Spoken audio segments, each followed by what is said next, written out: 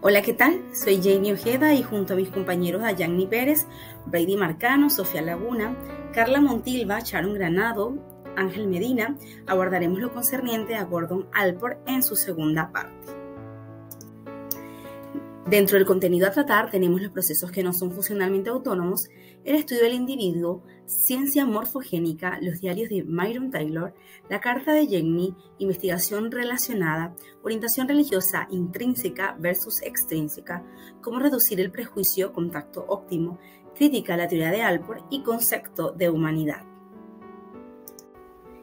Dentro de los procesos que no son funcionalmente autónomos, encontramos que Alport en 1961 enumeró ocho procesos, entre ellos el instinto biológico como el comer, respirar o dormir. En segundo lugar, encontramos los motivos vinculados a la satisfacción de los instintos básicos. Entre estos podemos mencionar instinto de escape, instinto de reproducción, entre otros. Actos de reflejos como parpadear, aspectos relacionados con la constitución, es decir, rasgos físicos, inteligencia o temperamento, así como también costumbres en procesos de formación, pautas de conducta que requieren refuerzos primarios, sublimaciones que pueden estar ligadas a deseos sexuales de la infancia y como octavo proceso encontramos síntomas neuróticos o patológicos, los cuales pueden implicar o no motivos funcionalmente autónomos. Alport en 1961 también propuso el caso de una niña de 12 años que tenía la molesta costumbre de chasquear sus labios. Esto debido al comentario de su mamá al eh, decirle que el aire que ella inhalaba era bueno, pero que el expulsarlo se convertía entonces en malo. Por esta razón, entonces, esta costumbre empezó unos, ocho años antes, cuando su madre eh, le menciona esto y decide entonces besar ese aire eh, expulsado con el motivo y el fin de que éste eh, se convirtiera en bueno.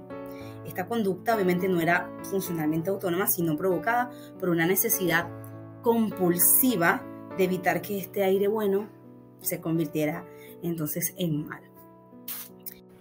Asimismo, Alport sugirió un criterio para diferenciar las compulsiones funcionalmente autónomas de aquellas que no son.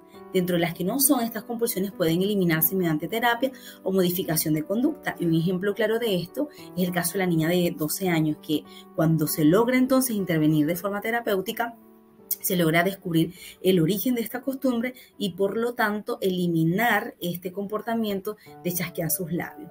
Por otra parte, cuando hablamos de funcionalmente autónomos, son aquellas resistentes a la terapia, es decir, síntomas eh, patológicos o experiencias previas que fomentan alguna patología.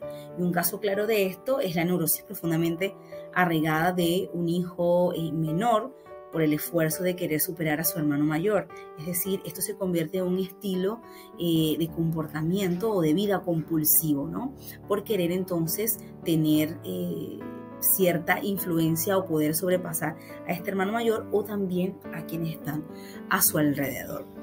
Dentro del estudio del individuo, que también es importante mencionar, Alpor abogó por el desarrollo y uso de métodos de investigación que estudian al ser humano y sugirió a los psicólogos esta aplicación de método para poder entonces eh, estudiar el comportamiento eh, del ser humano como tal. Dos enfoques científicos son importantes mencionar también dentro de los eh, distintos aportes que hizo Alport y encontramos la eh, nomotético y el ideográfico, pero debido a distintas complicaciones o formas erradas de aplicar estos métodos, entonces él incursiona o hace su último aporte en los procedimientos morfogénicos del cual le va a hablar mi compañera a continuación. Ciencia morfogénica. Este es un método que recopila datos de un único individuo el término morfogénico hace referencia a propiedades de todo el organismo, que siguen unas pautas e incluyen comparaciones dentro de una misma persona. Estas pautas individuales son el objeto de estudio de la ciencia morfogénica. ¿Pero qué son las pautas? Las pautas vendrían siendo ciertas tendencias de una, que una persona posee según el conjunto de rasgos que ésta presenta. Por ejemplo, una persona puede ser muy extrovertida, tener poco coeficiente intelectual numérico pero más artístico y mucha inteligencia emocional, lo cual forma una pauta estructurada. Existen modelos totalmente morfogénicos o parcialmente, Como lo podemos ver en la lámina, los totalmente morfogénicos podrían ser grabaciones literarias, entrevistas, sueños, diarios, cartas, obras de arte, gestos corporales, eh, autobiografías y muchísimos otros más. Y entre los parcialmente morfogénicos podemos ver que está la escala de autovaloración, los test normalizados, los estudios de valores y las técnicas de clasificación. Alport afirma que con frecuencia pasamos por alto la riqueza de las fuentes de datos del conocimiento que se tiene de sí mismo. Estas son válidas a menos que la persona sea un niño pequeño, un individuo psicótico o una persona con una conducta extremadamente defensiva. Los diarios de Marion Taylor. Alport y su esposa en 1930 descubren una serie de documentos eh, de una mujer que ellos llamaron Marion Taylor. Uno de sus diarios abarcaba una gran parte de la vida de esta mujer y también descripciones realizadas por su madre, su hermano menor, dos de sus amigos, sus vecinos, un profesor, su profesor favorito y también hablaba de algunos de los encuentros que tuvo con Ada. En 1907 se realizó un breve informe sobre la vida de esta mujer, de Marion Taylor. En el año 1902 nació en Ilios, más años más tarde, en el año 1908, se muda a California con sus padres y su hermana menor, donde comienza los estudios. Alrededor de sus 13 años, en 1911, comienza a escribir este diario, o mejor dicho, los diarios, donde más adelante eh, comienza a escribir temas relacionados con fantasías y también algunos sentimientos secretos. Finalmente completa sus estudios y termina siendo profesora de psicología y de biología. A los 31 años se casó, pero nunca tuvo hijos.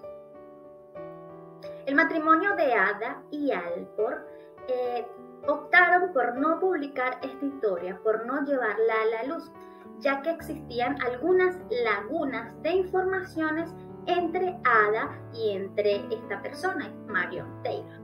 Es por eso que no publicaron y actualmente es imposible saber con certeza el motivo por el cual no decidieron publicar esta historia. Pero todo este trabajo con Marion Taylor les ayudó a organizar y a, publicar una segunda historia, eh, la historia de Jenny, quien fue otro seudónimo. Las cartas de Jenny. Alport utilizó las cartas de Jenny para el enfoque morfogénico del estudio de la vida. Dichas cartas revelan la historia de una mujer mayor y sus intensos sentimientos de amor y odio hacia su hijo Ross entre marzo de 1926 y octubre de 1937. Jenny escribió alrededor de 301 cartas a Glenn y su esposa Isabel, quienes en ese entonces eran compañeros de cuarto de universidad de su hijo Ross, quienes se creían que eran Alport y su esposa. Hablando un poco sobre la biografía de Jenny, podemos decir que nació en Irlanda en 1868, hija de padres protestantes y la mayor de siete hermanos. Jenny, a tan solo cinco años, y su familia se trasladan a Canadá, en donde su padre a los 18 años fallece repentinamente viéndose Jenny en la obligación de dejar sus estudios para poder trabajar y apoyar económicamente a su familia. Nueve años más tarde, sus, hermanos son más independientes y Jenny, que se caracterizaba por ser muy rebelde, de pronto contrae matrimonio con un hombre divorciado, cosa que para su familia le impresionó muchísimo, ya que ellos son una familia muy conservadora y religiosa, ocasionando así la ruptura eh, y la relación entre, entre Jenny y su familia. Al cabo de los dos años de matrimonio de Jenny, su esposo eh, fallece repentinamente. Y Jenny, eh, a los dos meses más o menos, nace su hijo Ross en 1897. Durante los 17 años siguientes, Jenny fue muy feliz con su hijo Ross. Pero ¿cuándo iniciaron los problemas realmente entre Jenny y Ross? Bueno, comenzaron cuando Ross fue a la universidad y él empezó a mostrar interés por otras mujeres, discutiendo a menudo con Jenny sobre sus amigas, las cuales ella las llamaba prostitutas, incluso a la mujer con la que se casó, acto que terminó distanciándolos temporalmente. En esa misma época, Jenny inició una correspondencia de más de 11 años y medio con Glenn e Isabel, en la cual revelaba información sobre su vida y personalidad. indicando en las primeras cartas su preocupación por el dinero, la muerte y su hijo Ross. Decía que él era un mal agradecido por haberla dejado por otras mujeres, rencor que se mantuvo hasta que Ross se divorció tiempo que duró muy poco, ya que Ross volvió a salir con otras mujeres a las cuales Jenny siempre les encontraba muchos defectos. De nuevo, las cartas estaban cargadas de rencor hacia Ross. Hacia los tres años de correspondencia, eh, Ross muere repentinamente y entonces las cartas empiezan a expresar una actitud más favorable hacia su hijo. Ahora no tenía que compartirlo con nadie y ya no había peligro. Durante los ocho años siguientes, Jenny continuó escribiendo a Glenn e Isabel, en donde Jenny seguía estando preocupada por el dinero y la muerte, culpando a los demás por su sufrimiento, mostrándose cada vez más hostil con sus cuidadores. Dichas cartas fueron sometidas a un análisis profundo durante años por parte de Alport y sus estudiantes, con el objetivo de construir la estructura de una personalidad concreta mediante la identificación de rasgos personales más destacados de la persona, utilizando principalmente tres técnicas para el estudio de la personalidad de Jenny. Técnicas que se usaron para estudiar las cartas de Jenny. Tenemos tres técnicas que se usaron, entre ellas tenemos el análisis de la estructura personal, que fue aplicada por Alfred Bendis en 1942. Esta técnica se usó principalmente para eh, estudiar la estructura eh, personal de Jenny y en este caso se utilizó dos procedimientos estrictamente morfogénicos como es la frecuencia y la contigüidad.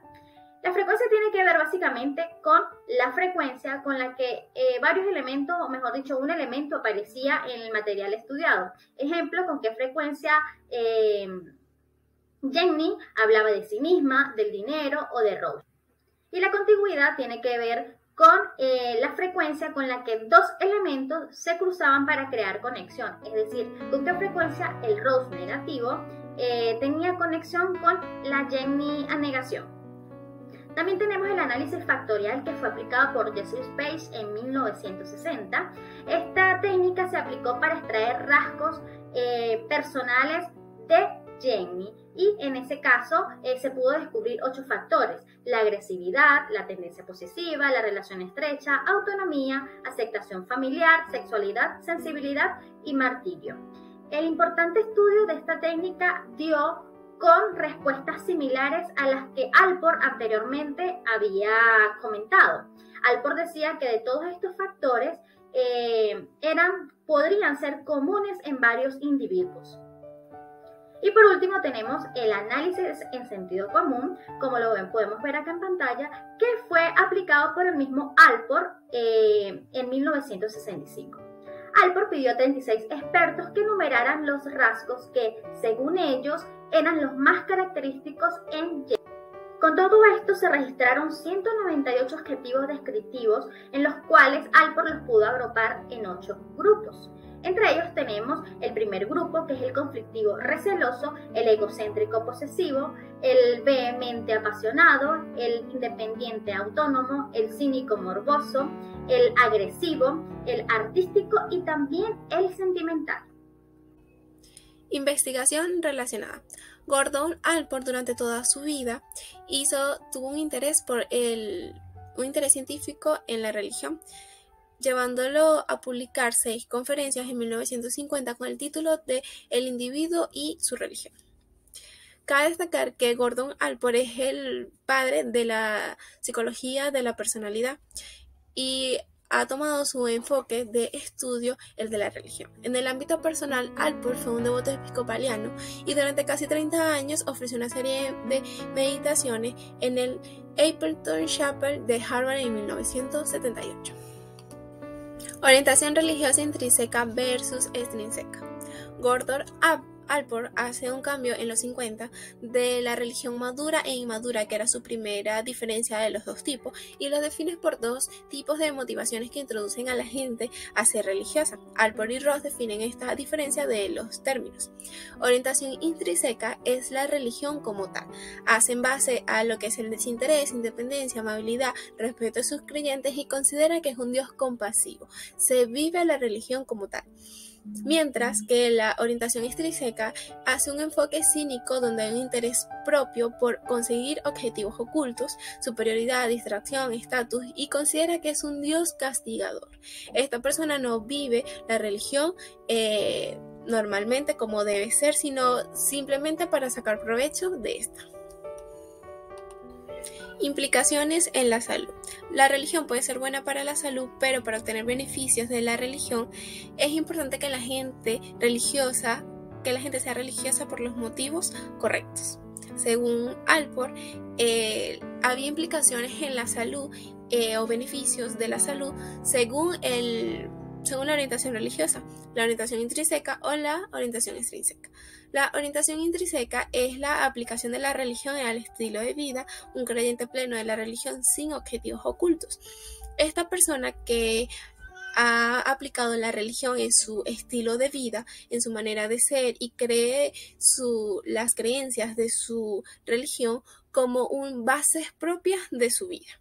Esta persona obtiene beneficios importantes en la salud por utilizar este método o esta creencia que lo hace llevar en su día a día la religión. Es importante destacar que eh, la religión es buena para la salud porque amerita o facilita una filosofía de vida, mientras que la orientación extrínseca, que es asistir a misa o al templo o a la sinagoga, pero sin un enfoque correcto. Eh, simplemente por obtener beneficios, no cree en la religión con plenitud y se motiva por el, eh, por el miedo. Esta persona que se motiva por el miedo no es una persona que va a la misa, a la iglesia, al culto, a la sinagoga.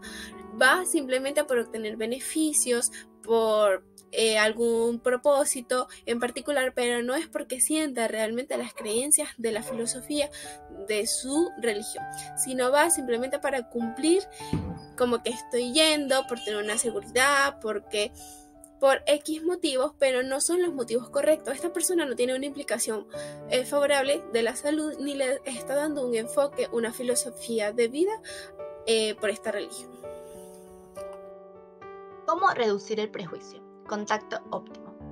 Alport estaba interesado en el prejuicio racial de una forma más general y propuso que uno de los componentes más importantes para reducir el prejuicio era el contacto, es decir, si los miembros de grupos mayoritarios se relacionaban con grupos minoritarios bajo condiciones óptimas, habría menos prejuicios. Pero, ¿cuáles son estas condiciones óptimas?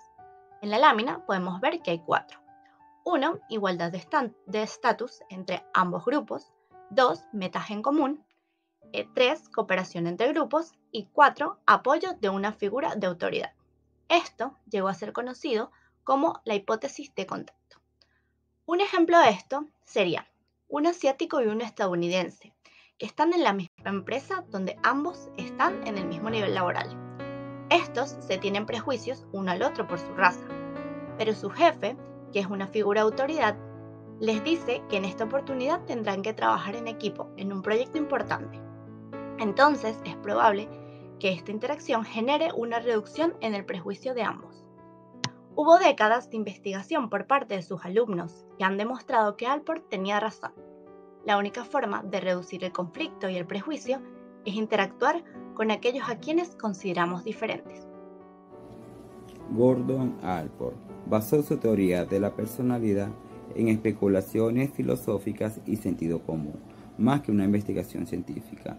Él nunca pretendió que su teoría fuera netamente nueva o exhaustiva. Su teoría es ecléctica, ya que toma ideas de diversas fuentes.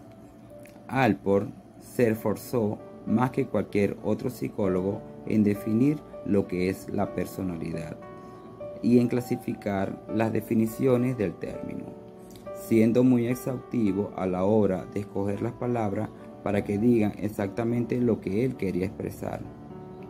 Alrededor de 50 definiciones para llegar a su concepto final. La teoría de Alport es limitada. Ofrece explicaciones para un ámbito bastante reducido de la personalidad. En concreto, ciertos tipos de motivaciones. Alport hace un análisis bastante completo de los motivos fundamentales y autónomos de los adultos psicológicamente sanos. Pero, ¿qué decir de los niños y adultos con trastornos mentales? ¿Qué los motiva y por qué? ¿Qué decir de los adultos sanos que de repente se comportan de manera extraña? ¿Y cómo explicar las incoherencias? ¿Cómo explicar los sueños extraños, fantasías y alucinaciones de los adultos mayores? Su teoría no es lo bastantemente amplia como para explicar y responder estas interrogantes, pero pese a sus limitaciones, el enfoque de la personalidad de Amplio es inspirador e instructivo. En el criterio para generar investigaciones, su escala de orientación religiosa, sus estudios de valoración y su interés por los prejuicios han conducido a diversos trabajos científicos sobre este tema. Esta teoría tiene una puntuación moderada. En el criterio de refutabilidad, la teoría tiene una puntuación baja, ya que el concepto de cuatro orientaciones religiosas en partes independientes se pueden comprobar o refutar. Pero casi todos los conceptos de Alport escasan a la capacidad de la ciencia para determinar si alguna otra explicación podría ser adecuada. En el criterio de organización del conocimiento, la teoría de Alport ofrece una valoración significativa solo para una selección limitada de motivos en los adultos. Gran parte de lo que se conoce de la personalidad humana no se puede integrar fácilmente en la teoría de Árbol, ya que él no explicó adecuadamente las conductas motivadoras por fuerzas inconscientes y las provocadas por impulsos primarios. Alport admitió que existen estos tipos de motivaciones pero para él no fue necesario seguir elaborando teorías psicoanalíticas o conductistas. Sin embargo, esta limitación no invalida la teoría del autor. Para él, aceptar la validez de otros conceptos, de otros teóricos, es una manera legítima de construir su teoría. Su precisión al lenguaje confiere a su teoría coherencia interna y simplicidad, Ahora vamos a hablar lo que es el concepto de humanidad para Alport, entendiendo la humanidad como lo que se refiere a la naturaleza humana. De acuerdo a la investigación en el libro sugerido de Face, Face y Robert, se nos muestra cómo Alport percibía el concepto de humanidad haciendo necesariamente un repaso resumido, pero minucioso y amplio de la naturaleza humana, pasando por nuestros rasgos, nuestra conciencia, nuestro potencial, nuestra libertad, formación, conocimiento y por supuesto nuestra personalidad. Por lo tanto, se describirán ciertas características de la humanidad descritas por Alport a modo de resumen. Alport consideraba el concepto de humanidad más teleológico que causal, entendiendo lo teleológico como el estudio de los fines, es decir, Alport pensaba que el concepto se basaba más en los fines que en las causas que lo originan. Como, segundo, como segunda característica tenemos que Alport sostenía que nuestros rasgos no están totalmente determinados por los motivos originados en nuestra primera infancia. Para algunas personas las influencias de la infancia ciertamente sí se mantienen en el resto de su vida, pero hay que acotar que las experiencias de la primera infancia tienen importancia solo en la medida en que éstas tengan relevancia en el estado presente del sujeto. Ahora, ¿qué pensaba Alport sobre el crecimiento psicológico? Este afirmaba que el crecimiento psicológico de las personas se puede desarrollar en cualquier momento de su vida, sin importar la edad que éstas tengan, pues existe la capacidad y la potencialidad de aprender eh, una variedad de respuestas de, de diversas situaciones que se presenten a lo largo de la vida. Alport también afirmaba que aunque la personalidad estaba influenciada por factores externos e internos, como la sociedad, la genética o el entorno, estos no representaban totalmente la decisión de rumbo o de destino de las personas, ya que estos son libres de trazar su propio camino. Sin embargo, la libertad a la que se refería Alport no es total, es más bien limitada y va a depender, entre otros factores, del equilibrio y de la capacidad de las personas, así como de su formación y de su conocimiento, generando con esto pues más opciones de elección. Por último, un enfoque también bastante interesante del pensamiento de Alport fue eh, la conciencia de que los seres humanos actúan guiados por objetivos Estos son proactivos y están motivados por diversas fuerzas, estando la mayoría de estas motivaciones dentro de la propia conciencia de la persona. Esta ha sido toda nuestra exposición. Esperamos que haya sido satisfactoria y que hayamos cubierto todas las expectativas. Muchísimas gracias.